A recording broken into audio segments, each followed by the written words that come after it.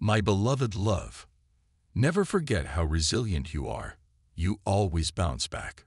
Stop looking outside yourself for the answers. You already know them. Take responsibility for your choices. This is your life to live. Own it.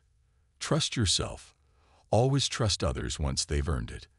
Is it just for the divine masculine today? Play. Ask for help. It's a new day. Forgiveness heals.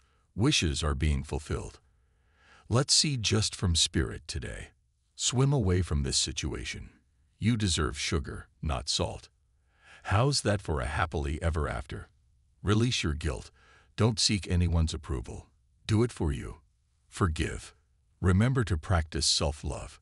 You already have all of the answers. Foreign. Spirit today.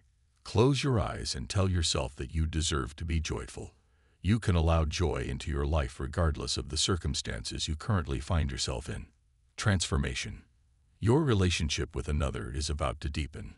Love conquers and transforms all things. When it comes to matters of the heart, there is no right or wrong. Every choice you make expands your understanding of life and love.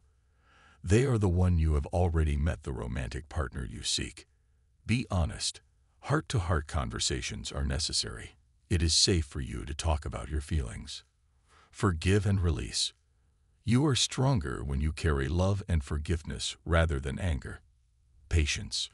Some things don't need to be dealt with for this connection to manifest. Divine timing. Be patient while things are unfolding. This connection is worth the wait. Overthinking.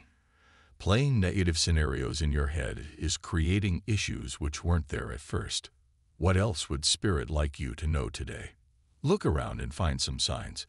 The universe is speaking to you. A little bit of faith goes a long way. Remember that. Speak up and speak out.